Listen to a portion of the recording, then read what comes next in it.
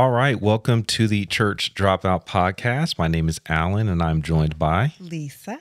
Thank you guys so much for tuning in. Church Dropout is a podcast. We talk about issues, topics, and teachings related to faith, life, and culture in ways that are sometimes funny, sometimes serious, but always insightful. And today we're going to talk a little bit about, or we're going to do some dropout comments pretty much. Sounds good. Right. And we would normally do multiple um, videos, mm-hmm, but mm-hmm. today we're going to do one video because we had a lot of comments on it. And truthfully, some of the comments were rather long. Right. And we're only going to read a few. We're not going to do a whole lot, but we just chose a few that we saw on there and we mm-hmm. want to just respond a little bit to them and um, maybe explain a bit. Right. I mean, I think there was a lot of opinions and feelings um, dealing with the Trump thing. And I mean, you know, politics are important Yeah. or people's political views are important. People hold things deeply, and uh, Trump seems to be the type of figure that people, um, you know, Don't have. like people don't like to get messed with. Yeah, exactly. He's a he's kind of a sacred cow to some individuals. I I, I was not. I was going to change that, but You're That wasn't meant you're to be a not shot. calling him. Yes, Right, right, I right. understand. You're not calling him a cow. yeah, yeah, that that, that wasn't a dig at Yes. at at Donald. all, at all. President Trump or former President Former President Trump. Trump. So we're going to talk a little bit about that. Um, yeah, just want to say, you know, you got some merch on. Oh yes. Yeah, Yeah. you know. Yep, yep, yep. Yeah. So we'll have some merch coming out soon. Some different things. You know, on the back of that it has uh something about uh we uh are the church. church. Yeah, and the scripture and stuff like that. But yeah, so it looks good. Thank It's you. good on you. Thank you. All right. So we are going to do some dropout comment comments. Shall we? Yeah. Let's get to it. All right, let's get to it. Message. All right, let's go. All right. Very disappointed in this Trump bashing podcast disguised as Christian podcast. I don't know how you guys showed up on my video suggestion, but I did give you a chance by watching it, but can easily tell by your sarcasm and your own opinions stated as facts, you are right up there with the fake news. No wonder your show is called Church Dropout. You guys have dropped out all right. Why are you reading? well, I mean, it was just the blessings of Jesus that brought us to your feed. So, you know, you could blame the Holy Spirit Okay. uh, for dropping us in your feed. But Uh-huh. I mean, you know, hey, I, I definitely get it. Uh, I definitely get it. You know, um, again, that's just a person's opinion. That we gave our opinion. You know what I mean? But you know, I don't know about the whole fake news thing though. yeah. You know what I mean? Like, you know, yeah, I, you know, you anyway, know that's that's that sounds like donald trump those are his words right Yeah. Oh, no, no, yeah. I think they're being very intentional with with those words. Yeah. You know what I mean? yeah You know, but I don't know. I just think, I mean, honestly, I can't tell because a lot of people really didn't interact with the content per se. right They seemed to be more, you know, aimed at the fact that we were talking about Trump. of course 100% which makes the point. And even in that specific instance, Mm-hmm. you know, we're saying we're a Trump bashing podcast, yeah right? Yeah. And, you know, I think it's a little bit extreme. Yeah. You know what I mean? Uh, you know, and we'll get to it, but you know, we're equal opportunity offenders. yes You know, um, it's not just related to Donald Trump. I think No. as as many will see as we continue to push forward on the podcast. So Mm-hmm. anyway, let's do another one. All right it says are you too aware of the spiritual battle going on have you ever heard of the new world order do you understand that America is all that stands in the way of a demonic global government and that we are under attack on every front? President Trump realizes that unless we restore our favor with God, our nation is doomed. Wait, wait, wait. Okay, so I, I- is that one pretty long? No. Oh, okay. So just start from the favor part and go ahead and continue. I'll let you finish. Okay. Uh, tr- President Trump realizes that unless we restore our favor with God, our nation is doomed. He is calling our nation to revival. You do not have to buy the Bible. I, I have said for years to save this country, if you cannot afford to homeschool your children, you had better at least teach them the Bible and our founding docu- documents. We hold these truths to be self evident that all men are created equal and endowed by the Creator with certain unalienable rights. President Trump gets that. Why don't you? Yeah, and they actually gave a little bit of uh, our founding documents there, uh, talking about our, our rights. But the part in that that I think is very interesting is the idea that Trump is here to restore our favor in God's eyes. Right. And I think that again goes to the point we were trying to make of we think of America as this divine or this this uh, favored community in God's eyes, right? And we have we this special, unique. people. Yes, we're Yes. chosen people. We have this Yes. special, unique relationship with God, Mm-hmm. and He's calling us to bring peace Mm-hmm. to the world. And again, that is not the job of America. Right. And how do we know that uh, God is not doing a work with the world? Uh, well, anyway, listen, let me put it this way it's the job of Christians to to evangelize the world. Jesus has already brought in peace. It's our job to expose people to that peace. And we got to be careful of putting America in the place, uh, in a divine position in God's eyes, Yeah. as if uh, the favor that America has or the favor that people believe America has puts us in this unique position where we're here to carry out God's uh, God's um, plan throughout the world. Right? America is not the only place that Christians exist. Yeah. You know what I mean? Um, and I know people wouldn't deny that, but when we speak of it this way, we speak of America being set apart for a specific purpose. And again, using, you know, real biblical language here. But when you talk about America having favor, to me, I think you're making a correlation of what's in scripture about how God favors nations and people. Mm-hmm. His chosen people, his favorite people were Israel, mm-hmm. right? Mm-hmm. And now his people are found in Christ, mm-hmm. the true Israel Right. right? Right. Uh, that is not to say that God is done with Israel, but the reality is is that God has a people that He is using to bring redemption into the world by His by His grace, by having faith in Him and evangelizing and doing discipleship in the world. Yep. All right. And this one is says church dropout. Very disappointed in your video. Here's a man that has been hit with lawsuit after lawsuit in the same way they do in Banana Republic. And here you are piling on. Again, very disappointing. You say you are Christian, so why would you bash another Christian? Maybe he is not as mature in the faith as you are, but why bash? Causing strife amongst the brethren is pretty serious. Please pray about what Is you have done. Yes. Okay. Well, first, let, let me just kind of deal with the bashing Christian thing. Mm-hmm. Um, you know, we first have to assume that Trump is a Christian. Right. and I'm not saying that that he's not. Correct. However, I'm not sure I've seen fruit of Trump being a Christian. Mm-hmm. He didn't start talking about his evangelical faith until Mm-hmm. he started running for president. yes. Um, in fact, even when he started running for president and he said that he was a Christian, he said he didn't doesn't repent. Mm-hmm. He's the only Christian I know that says they don't repent Wow. right? Mm-hmm. Um, so I, I think that's a problem in and of itself, Mm-hmm. right? But even aside from that, if Trump is a baby Christian, Mm-hmm. or if he's a Christian that is is still very much so in the formation, then we ought to be very careful Yeah. with what we are putting on his shoulders um, because obviously he needs time to understand what it means to have faith, what it means to follow Jesus, Right. Right. Um, you know, so I don't know, and I don't think we're bashing Trump. I don't. No. I don't think that we were, you know, Unless bashing him at all. talking about like the things that I said, but those were things that came out of Trump's mouth. So I was just letting the people know. Okay. All right. All right. Um, it says, please pray about what you have done. I've been a Christian for Wow. many years. Pray every day, read the Bible every day, fast, blah, blah, blah. What do we do? Bash Trump. Well, okay, yeah. But I don't know if I could give you a favorite verse.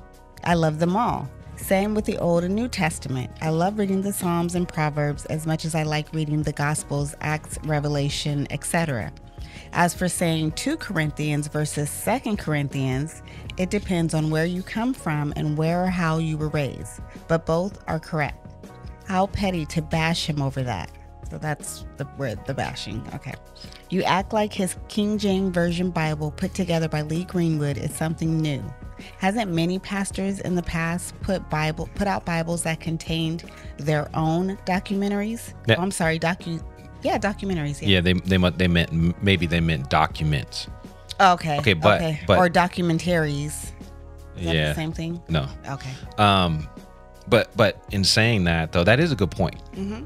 right? This is not the first time somebody's made a, a USA Bible, but we also have Bibles that uh, are named after, i- I guess to some degree, individuals, right? Mm-hmm. So you have the John MacArthur Study Bible, and I don't know how I feel about that either. Right. You know what I mean? But Right. all but they're not putting any of their documents in it. They're Mm-hmm. just based on maybe commentary or sermons or different things that they've written in there. But I think that is a great point. I Mm-hmm. Think it's something to definitely think about. But I think what Trump is doing is much different, or Yeah. Mm-hmm. what's being done that mm-hmm. Trump is endorsing is Right. much different. We're talking about someone putting the founding documents into the Bible.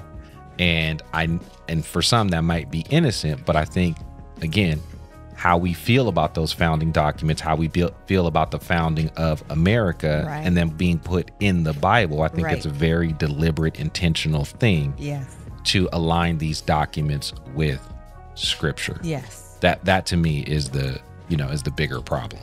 You know what I mean? But that is a good point though, and Mm-hmm. Yeah. and it's something that we should think about. You know what I mean? Should we produce Bibles with you know man's thoughts or popular people's thoughts Yeah. because they're simply popular, Right. right? Or because they've taught the Bible for a long time. But but yeah, All right, John MacArthur for one, Nelson, Moody, etc.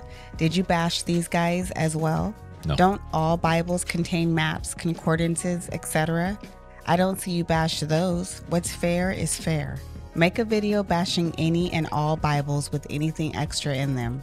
Trump never said that said the Constitution or the Bill of Rights we was canon of scripture. Most Americans have never even read the Constitution or the Bill of Rights, and if this gets them to read it, I am all for it. Lastly, you claim that Christians have sold out their faith to a faith of uniting politics and faith together. I am not saying no Christian has done that, but all my Christian friends and contacts have not done that.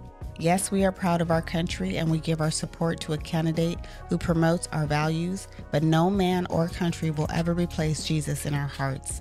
In the end, there will be no politics, only the kingdom of God. yeah, amen to that. I mean, you know, in the end, there will be no politics. Thank you. Um, great.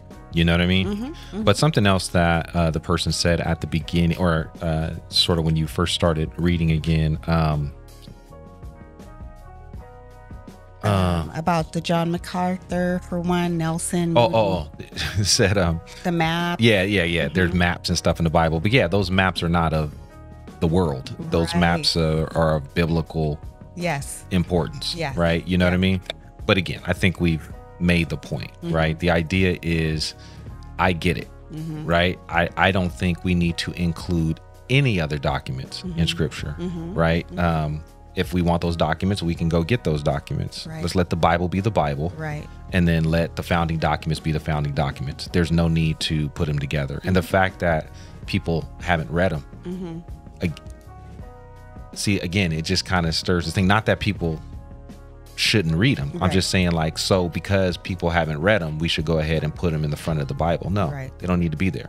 Why not just say, here's a Bible, you know, it's Mm-hmm. a regular King James Bible, and then say, we're giving you The the, founding founding documents, documents, with yes. the actual, Yes. Mm-hmm. right? But when you package it together, you say something different to Yeah. me. Yep. I agree.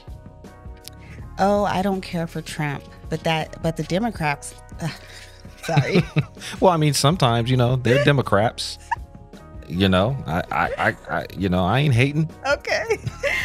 Uh, equal. What are we? Equal Right. opportunity. Yeah, Okay. exactly. Oh, I don't care for Trump, but the Democrats are wonderful. Enough said. So I think that's from the comment when I was just like, I just don't care for Trump. Yeah. Oh yeah, most definitely. Mm-hmm. And um and yeah, so it just seems like people think that because we're on Trump, Yeah. that all of a sudden we are dem- that means that we're Democrat, that we are a part of the opposite party because Mm-hmm. Yeah. Mm-hmm. we're bashing Trump, according to their words.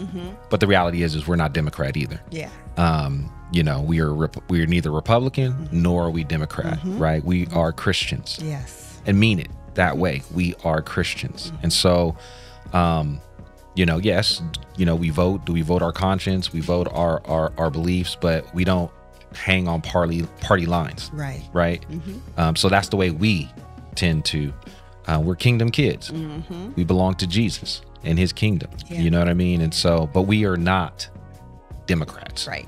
You know what I mean? And just because we criticize one doesn't mean that we are the other. Right. And, and let me say this as well. This is the last thing. I think this is also a sign of where we are today, where everything is so black and white. There's just no nuance with anything. Mm-hmm. Right. You know, Yeah. everything is polar opposite. If you're not this, You then you're that this. Yeah. right? And you can't even have discussion or criticism or opinion uh, without being labeled or associated. And as Christians, we really need to be careful with this Yeah. because we have a mission to take the gospel into the world and sometimes that's going to carry us into places where where it may cause people to say hey what are they doing Right. you understand what I'm saying? And um, you know, um, I mean, for goodness sake, Jesus was, you know, accused of being a friend of sinners because he was willing to take the gospel to those who needed it the most. You know, and so we got to be careful with that. You know, these conversations need to be more nuanced. Just because you're doing something over here doesn't mean that you're this here. Right. And I personally just hate labels. Yeah. I hate labels. Mm-hmm. I hate labels. It just it just bothers me. I think it puts us in a box. Mm-hmm. You know what I mean? So mm-hmm. anyway, we're neither Democrat nor Republican. Equal opportunity offenders when it comes to politics. Yeah. And I don't like Lee Greenwood or country. Y'all scared of Trump, but buy Diddy's records? Take that.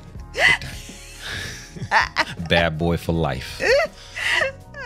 Hey, no. listen, I ain't bought I ain't bought a Diddy record I'm trying in to a tell long you. time. I don't even I don't even think I've ever bought a Diddy record actually. really? Yeah. Man. Boy, yes you have. I guarantee you have. Mary J. Blige. Oh, one of her one of its artists. Yes. Okay. Well, right. yeah. Then Yes. you know, essentially you're buying a Diddy record. Yes, that's true. You know what I mean? Mm-hmm. You know, but uh, but yeah, I don't even know where that came from. Like, where's the correlation there? You know what I mean? Like, Right. you're mad at Trump, but you'll buy a Diddy record, Right. So we won't buy the Diddy. We won't the Diddy Bible. Hey, boy, that's something else there. Mm-hmm. So, but that's just It'll have like federal documents Oh inside. gosh, Alan, stop. but I mean, it's it's the thing that there's here's an assumption, you know, that if we're not okay with Trump Bibles, that means that we we had to have bought Diddy records. Like, what, how did the two come together? That's what I'm saying. You know, I don't, I don't know. yeah. I have no idea. But yeah, that's Mm-hmm. funny. All right, and then we have Donald Trump prints U.S. documents with the Bible, and Christians are like, "That's fine. It's just packaging." But if Mitt Romney printed Mormon documents with the Bible, Christians would scream bloody heresy and damn him to hell. See the double standard? Yeah, um, you know, I'm not sure I agree with that specific correlation. I think those are two different things. You know, Mm-hmm. Mitt Romney would be putting a set of different, another religion Yes. inside of the Bible, Right. Um, which would be a little bit different, Yeah. or a lot of bit different, right? But I definitely get the sentiment of what the person is trying to argue. What if a person within another country Mm-hmm. in Afghanistan or Iraq or wherever, and they and they wanted to put their institution or their doc, uh, documents Mm-hmm. inside of the Bible? Um, I guarantee you, people would have an issue. Oh, with that, for sure. right? Yeah. Because of how we see those countries in a, in in relation in relation to how we see ourselves as a country. Right. See, and that's what I'm saying. The reason why these documents are being put in the Bible is because of how we feel about these documents. Mm-hmm. Yeah. Mm-hmm. That's that's what I'm getting at. Like Yeah. that's where the problem is to me is that these documents are held sacred to us. Yeah. So we put them in a sacred book. You you understand what I'm saying? And so it's like no, those two things need to be separated. Yeah. You know what I mean? And put in mm-hmm. different documents. And so like I said, I get their point Yeah. is that we would be upset Yeah. if if another country did this with their documents and put them put them inside the Bible. Yes. All right, here's the thing this isn't on Trump. Based on his own words, Trump has no spiritual foundation. You can't have a genuine relationship with Christ if you can sit on a stage and claim you have no need for forgiveness. Knowing you are an adulterer who cheated on your pregnant wife with a porn star, cheated your business partners on numerous occasions, and lied so often you believed much of what you say. Mm. I thought his waving the Bible around in 2016 was disgusting, and I wasn't even practicing my own faith at the time. Mm-hmm. You didn't need to be a person of faith to see that for what it was. Pondering to a group at a level like the Bible is his favorite book, and I have copies all over my house. He does so from the position of a man who doesn't buy any of it. Mm. When he goes around selling Americana Bibles, okay, so it's an A at the end, I'm sorry. Selling American Bibles to make a buck, he does so with no concern for their for consequences because he honestly believes there will be none. Hmm. That's who he is. It's who he always has been, and anyone trying to shoehorn him to into some spiritual savior is simply behaving like a member of a cult. Hmm. Okay, this is a long one. It's a long one. We Yes. still going? We Yes. still going? Yes. Yeah. Well, this, the, you know, we could just digest a little bit of that. Mm-hmm. Like again, he, he he mentioned it again. You know, Trump saying he didn't need any forgiveness Mm-hmm. or anything mm-hmm. like that, mm-hmm. right? Mm-hmm. And yet we are saying that you know um, we're treating him as if he's a Christian. And, and again, even aside from that, Mm-hmm. Yeah. you know, in the White House, we're not voting for a Christian. Right. You know, we're we're voting for a president. Um, because the United States again is you know it's it's there to represent all people Right. and all people groups Right. so they're not there just to carry out christian values that's our job Mm-hmm. you know what i mean and again i think he's pointing to the idea of the pandering Mm-hmm. that he's been doing this since the onset right Yeah. um, he's been kind of pandering to the evangelical community much like the republicans have Yeah. you know what I mean, played on these ideas that they know are very deeply held by um, Christians Yeah. today. So I, I just want to give you a little bit of break. So Thank you. Like I say, this isn't on Trump. It's on those Christians who have bought into the lie, who have given him a pass on this and numerous other heretical, even blasphemous public displays, such as when he stood on a stage and let a prosperity sparkle pastor refer to him using the same language used to describe our Lord in the Gospel of John. Hmm. It's on the people who will buy his book, regardless of motive. I'll say it shame on them. Trump figured out how to woo those who claim to be evangelicals, hmm. whatever that term means to them. They see him as some avenging angel who will smite the godless left that has ridiculed them and put their very existence at risk. Yet, a lot of these self proclaimed evangelicals are the same ones who will vote for anyone with an R next to their name, especially if that person is an incumbent, regardless of that person's voting record. They can't be mm. bothered with checking into that person. It's a form of roll tide.